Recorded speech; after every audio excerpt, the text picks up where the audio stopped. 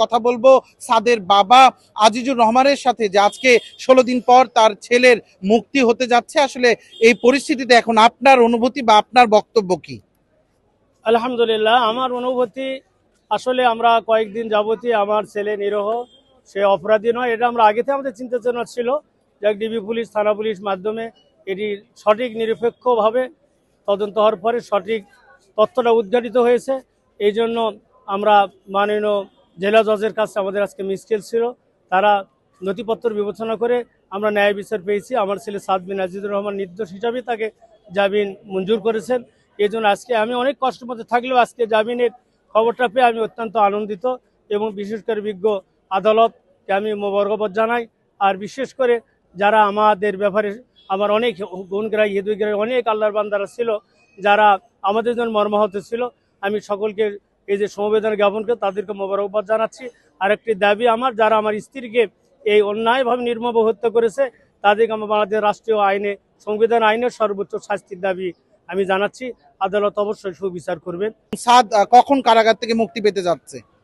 ইতিমধ্যে আপনারা জেনেছেন যে ম্যাজিস্ট্রেট আদালত থেকে সাত বিন আজিজুরের জামিন দেওয়া হয় নাই। আমরা মাননীয় জেলা ও দায়রা জজ আদালতে তার মিসকেস করেছিলাম।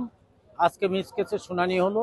শুনানিতে বিজ্ঞ জেলা ও দায়রা জজ মহোদয় কাছে আমরা উপস্থাপন করেছি যে ইতিমধ্যে সাত বিন আজিজ গ্রেপ্তার হয়েছিল। গ্রেপ্তার হওয়ার পরে তথ্য প্রযুক্তির সুবাদে মোবাইল ট্র্যাকিং করে যে তিনজন আসামির সন্ধান তদন্তকারী কর্মকর্তা পেয়েছেন এবং এই তিনজন আসামিকেই তদন্তকারী কর্মকর্তা গ্রেপ্তার করে তারা তারা প্রাথমিক জিজ্ঞাসাবাদে ঘটনার সত্যতা স্বীকার করে এবং তাদের কাছ থেকে ওই দুইটা মোবাইল এবং রাউটার উদ্ধার হয়েছিল।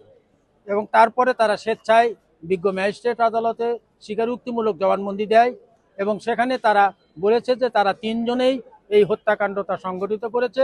এই তিনজন ব্যতি রেখে তাদের সাথে আর কোনো আসামি ছিল না বা আর কোনো কারও সম্পৃক্ততা নাই।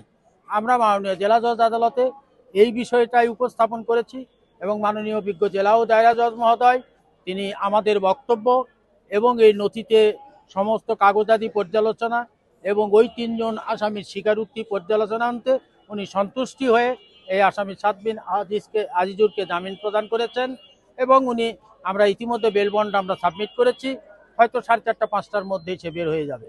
এবং এই যে আজকে এতদিন পর্যন্ত একটা নিরীহ ছেলে, এই যে হাজুতে একটা অন্যায়, একটা অভিযোগের ভিত্তিতে এবং নিজের মাকে একটা ন্যাক্কারজনক একটা অভিযোগ, এই অভিযোগ তার বিরুদ্ধে দেওয়া হয়েছিল।